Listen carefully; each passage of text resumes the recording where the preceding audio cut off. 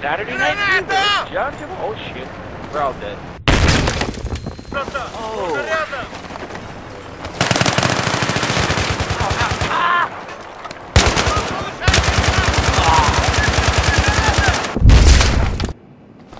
What up, people? Real CS. Got a couple of things to talk about today. Uh, one, uh, I think it's a serious problem with the close quarters package, the auto assist, the aim assist, whatever you want to call it.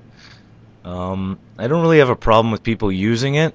I think it's kind of douchey, and what's the point of playing a game if it's just going to assist for you? But um, I don't have a problem with people using it. I just want to know who's using it right? I'm a i'm a person who doesn't use it. I don't like it. I don't like a computer dictating where my bullets are going to go or where my aim's going to go.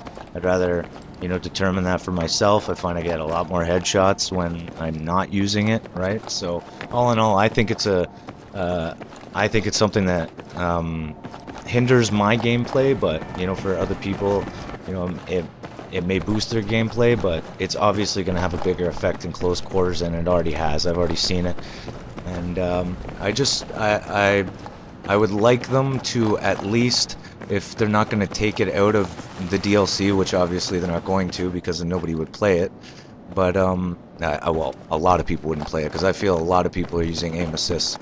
Um, but what they should do is they should do exactly the same as um, what they do with the headshots and give you a little target symbol beside your name when you get headshotted so that way you know the reason why you died so quick. And I think it would be awesome if they put a, a little symbol in there to tell us that uh, assist was used when killing us. I think it's fair. Um, I think it's a, you know, just a, a good thing to put in. I, I, think it would be a good thing. Uh, next, um, I just uh, I read an article and uh, it was talking about how the aftermath was supposed to be post um, Tehran earthquakes. So there should be a bunch of, you know, insurgents running around and stuff, and you're trying to like, you know, keep everybody calm. And and the reason why I say everybody is because I think they might put civilians in this.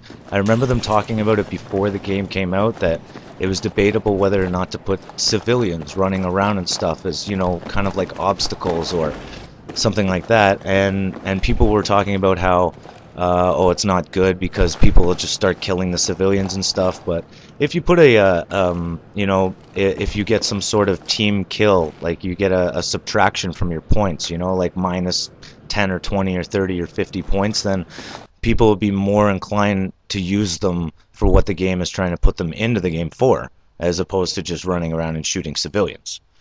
But um, also, I heard that in Endgame there will be motorcycles, and I think that that could be awesome. I like motorcycles, I like jets, I like things like that, and uh, I think that would be honestly very, very awesome. So, um, yeah, so that's pretty much all I wanted to say. Uh, overall, I do like the new DLCs the maps look absolutely awesome. I think that they're well designed, and uh, they, you know, they they'll make some good uh, gameplay, some good uh, montages, some good gameplay coming up. Don't worry, I just uh, had a lot of things on my plate, so. Um, but yeah, the uh, videos will be coming shortly. Don't worry.